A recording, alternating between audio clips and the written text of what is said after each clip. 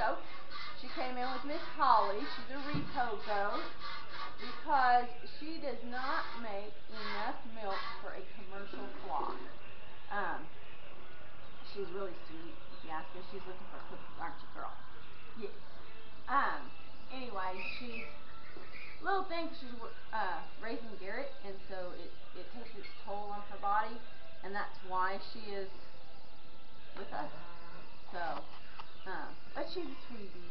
Aren't you, big girl?